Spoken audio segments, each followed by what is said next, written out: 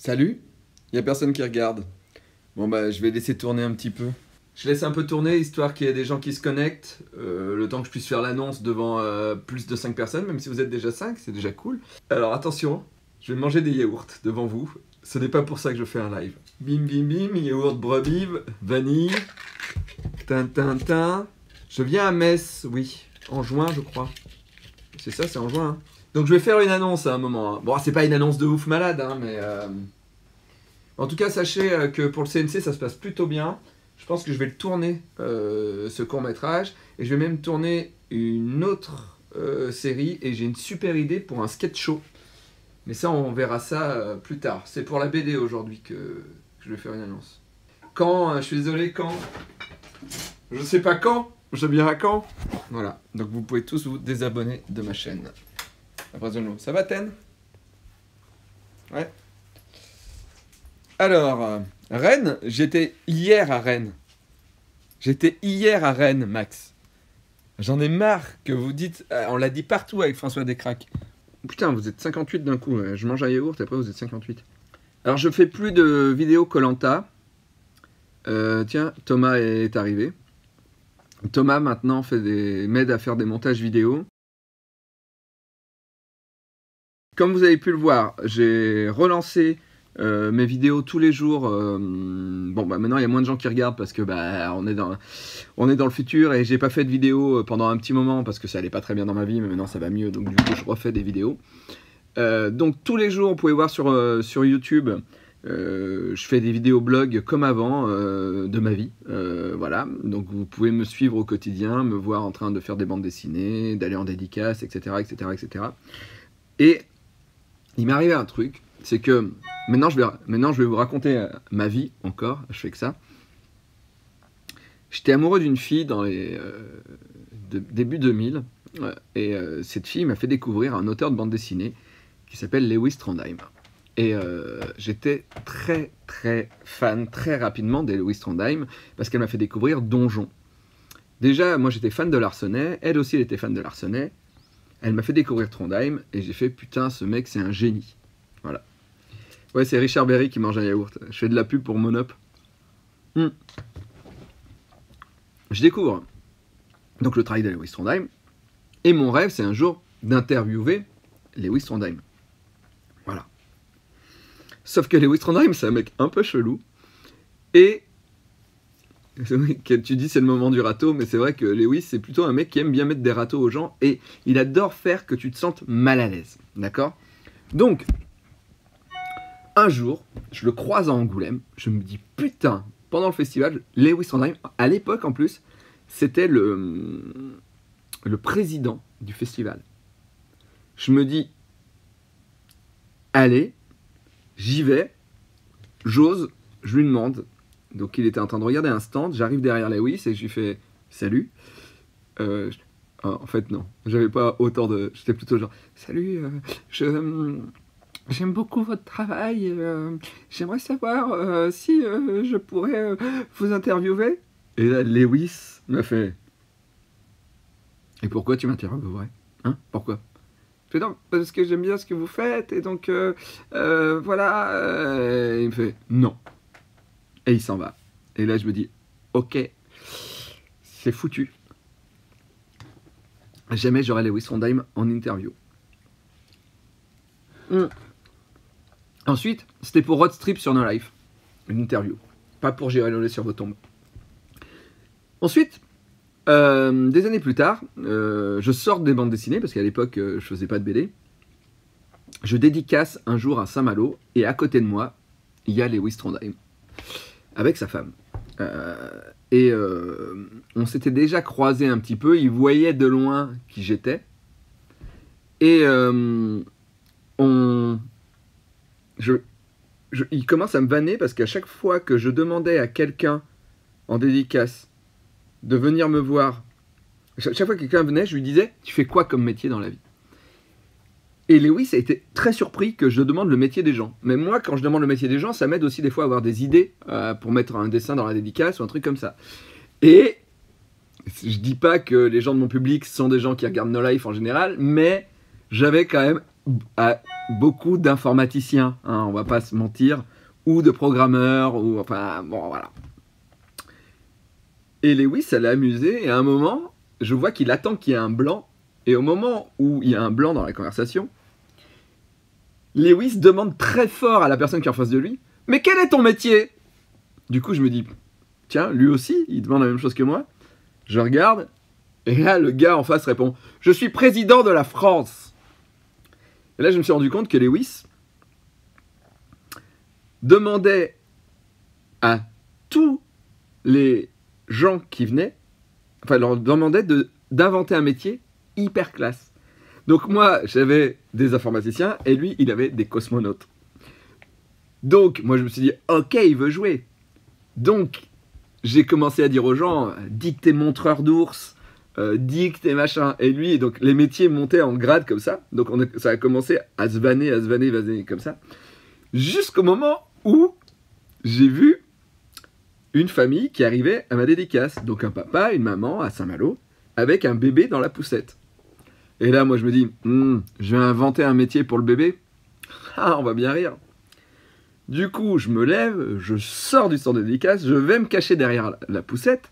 Enfin, je me mets devant la poussette. J'attends que Lewis me regarde. Vraiment, on est en spectacle. hein. Et je dis. Mais je regarde le bébé et je fais Bébé, mais qu'est-ce que tu fais comme métier? Je me cache derrière le bébé et j'hurle Je suis bébé pute Sauf que un bébé, quand on se cache derrière lui et qu'on hurle Bébé pute ben, le bébé, il a peur. Le, perpé- le bébé part en crise d'angoisse, hurle, pleure. Je deviens tout rouge, je suis hyper gêné. Les parents font Non, mais c'est pas grave, c'est pas grave. Et Lewis est mort de rire. Donc voilà. Euh, rencontre avec Lewis. Euh, je fais rire Lewis. Lewis rentre chez lui, raconte à son fils. Son fils regarde Golden Moustache. Son fils lui fait Mais oui, c'est un mec, il est drôle et tout, regarde ses vidéos. Lewis va voir la vidéo. Et bah du coup, euh, ça le fait marrer. Il doit se dire que je suis un mec sympa.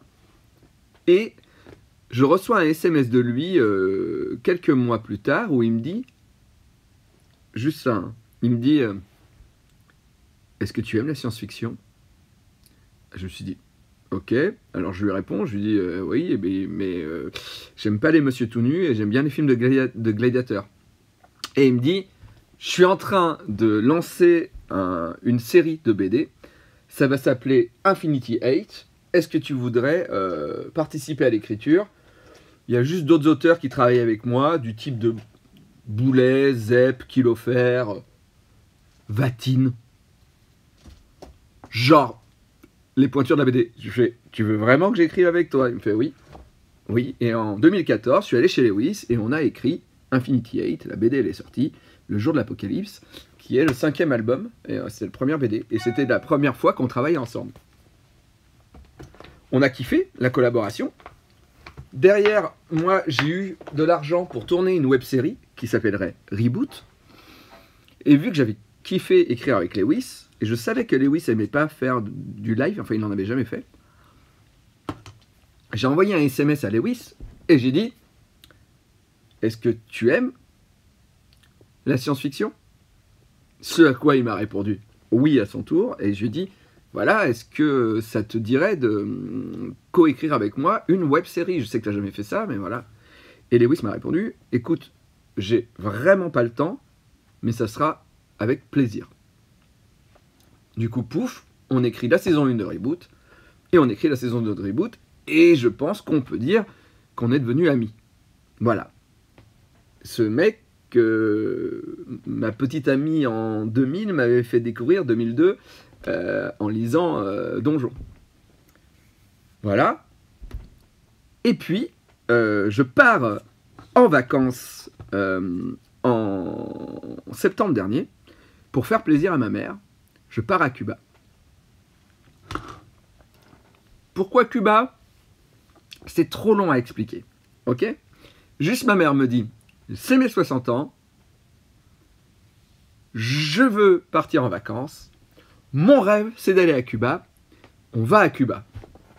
Et là moi je fais waouh j'ai pas envie d'aller dans un pays en dictature, euh, voilà, mais c'est ma mère, et du coup j'ai pas envie d'y aller tout seul, du ma mère demande à ma cousine de nous accompagner, et moi je demande à mon pote Rémi de venir avec nous. Et donc, ma mère, 60 balais, moi, 40 ans, mon pote Rémi, la trentaine, et ma cousine, la vingtaine, on part à Cuba. L'équipé de la merde, hein, voilà, on part à Cuba j'ai vu écrit Attention, en septembre, c'est la saison des pluies. Honnêtement, je me suis dit, oui, bon, ah, ça va, ça va, on mettra un kawaii. Bon, quand il y a un ouragan euh, qui arrive, le kawaii, il sert pas à grand chose. Et on s'est tapé donc Irma, euh, l'ouragan le plus puissant euh, qui est passé sur, sur Cuba depuis 1981. Voilà. Donc, après euh, moult aventures, on n'est pas mort. Je rentre en France. Lewis me dit, genre, euh, je rentre de Cuba. Le jour même, Lewis me dit, je suis en dédicace à Paris. Je lui dis, bah, je viens te voir après la, ta dédicace, euh, j'ai des trucs à te raconter. Après le repas, Lewis, je lui dis, bah, écoute, je suis parti à Cuba j'ai une belle aventure à te raconter et je lui raconte tout le voyage. Alors déjà, un, je t'ai pas fait pour aller à Cuba, et deux, je t'ai pas fait euh, pour vivre un ouragan. Quoi. Hein, je suis geek, moi, hein, je vis dans un canapé, euh, c'est mon habitat naturel, le canapé. Et, et donc, Lewis écoute, alors Lewis ne rit pas, hein, mais je vois que son œil pétille et qu'il sourit, donc je me dis que bah, mon histoire lui plaît. Et là, il me dit, ça, c'est une bande dessinée. Et je lui dis, bah ouais, mais putain, dessiner des voitures, dessiner des palmiers, euh, dessiner des, pavés, euh, ah, je me sens pas, quoi. Il m'a dit, tu peux le faire, c'est drôle, on en fait une BD. Franchement, j'ai mis hyper longtemps à commencer l'album. Déjà, j'ai mis hyper longtemps à scénariser l'album. Parce qu'on va sortir un, bouquin comme ça de 190 pages dans la collection Shampoing. Parce que Lewis m'a dit qu'il allait méditer dans sa collection. Le mec que j'ai lu il y a des années, que je voulais interviewer et tout ça, il me dit il me dit que je vais être dans sa collection de BD. Et du coup, j'ai fait waouh je vais être dans la collection de Lewis Trondheim, ça veut dire qu'il pense que ce que j'écris et ce que je fais, c'est drôle et c'est bien. Du coup, je me dis, je peux pas le décevoir. Et donc, je crois que j'ai mis deux mois avant de commencer à dessiner l'album. je me disais, non, c'est pas assez bien, non, il faut pas que je fasse comme ça. Voilà. La BD est finie. Ou si vous me suivez sur Instagram, bah, vous avez pu voir que j'ai mis trois mois à la faire. Hmm. L'album sort le 6 juin 2018. Oui, je suis dans la collection Shampoing, mais il faut savoir que Lewis Trondheim, euh, je ne sais pas si vous avez vu une photo de lui, mais Lewis Trondheim est aussi chauve que moi. Hein. Je pense que c'est une vanne. C'est une édition de chauve, quoi. À part Bastien Vives, je vois pas ce qu'il fout dans, chez Shampoing. Parce que lui, il l'utilise vraiment, a priori. Donc, Attendez, j'arrive à l'annonce que je voulais faire, parce que tout ça, c'est juste euh, le début de l'histoire. En fait, je viens d'Internet. Clairement, vous, m'avez connu grâce à Internet. Euh, no Life, c'était sur Internet. Nerd, c'était sur Internet. Mon blog que les gens suivaient, Moirf, il était une fois une fille que j'ai rencontré deux fois, c'était sur Badstrip. Tout ça, c'était sur le web. Je fais une bande dessinée, je me suis fait chier à dessiner 190 pages pendant pendant 3 mois, 4, 5 mois si on compte le début de l'écriture. Et j'ai dit à Lewis, j'ai dit, bon, pour moi une bande dessinée, il faut que ce soit lu euh, en physique parce que c'est là où c'est bien. Mais j'ai envie de revenir aux sources. C'est pour ça que depuis euh, peu de temps, je refais des vidéoblogs. C'est pour ça que je vous fais un direct là. Et je reviens encore aux sources et je vais mettre toutes les planches de l'album Davy Mourier versus Cuba sur Internet, en lecture libre. Alors j'espère, j'espère que vous allez aller euh, acheter l'album, parce que bah, c'est comme ça que, que je gagne ma vie, et surtout, c'est comme ça euh, que je vais pouvoir faire d'autres albums, parce que je pense que les éditeurs, si l'album se vend pas, bah, je pourrais plus en dessiner, et donc euh, voilà. Mais c'est vous qui m'avez donné beaucoup d'amour, et c'est vous qui me faites vivre, et et donc du coup, et puis, même, c'est en plus c'est une BD qui raconte ma vie. Donc du coup, cette BD, elle doit être sur le web. Alors le problème, c'est que Batstrip, euh, c'est un peu mort, il n'y a plus de gens qui y vont, les gens vont sur Facebook. Donc je pense que dès aujourd'hui, dès ce soir, je vais commencer à mettre une page par jour de Davy Mourier versus Cuba. Je vais essayer de programmer tout ça parce que je ne peux pas euh, je, peux pas. Il faut, que tout soit programmé en avance parce que sinon je vais devenir fou. Je vais essayer de programmer. Alors je sais pas à quelle heure c'est le mieux. Je pense que 12 heures c'est pas mal. Tous les jours à midi, comme ça pendant la pause déj, tu peux lire une planche. Par contre, il y a un truc que je voudrais savoir. Je suis au max le 12 et le 13 mai. Oui, je, viens à Montpellier vous voir. Oui, mon idée, mon envie, c'est de mettre tous les Davy Mourier versus sur le net, ouais. Et Lewis est d'accord. Euh, Lewis Trondheim est d'accord. Donc en gros, d'abord il y aura Davy Mourier versus Cuba. Dans six mois, il y aura Davy Mourier versus la télévision. Et six mois après, il y aura Davy Mourier versus la mort. Et si ça marche bien, bah il y aura d'autres. 12 heures, ça vous paraît bien? Ok. Euh, bon, c'est cool, je garde 12 heures. Euh, j'espère que vous avez tous Facebook. Euh, faut sur, ça sera sur mon compte officiel, Davy Mourier, avec le petit bleu et avec le, petit slash. je sais pas si j'aurai le temps de le rebalancer sur Badstrip et sur Twitter. J'aimerais bien, mais je pense que j'aurai pas le temps. Mais je suis venu à Montréal, j'étais là l'été passé, c'était trop bien.